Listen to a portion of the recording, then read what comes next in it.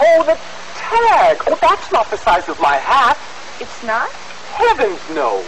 Actually, it's the size of my thingamajig. Oh, Mr. Hatter, please cover yourself. Well, what's wrong with her? She's embarrassed. I think she's still a virgin.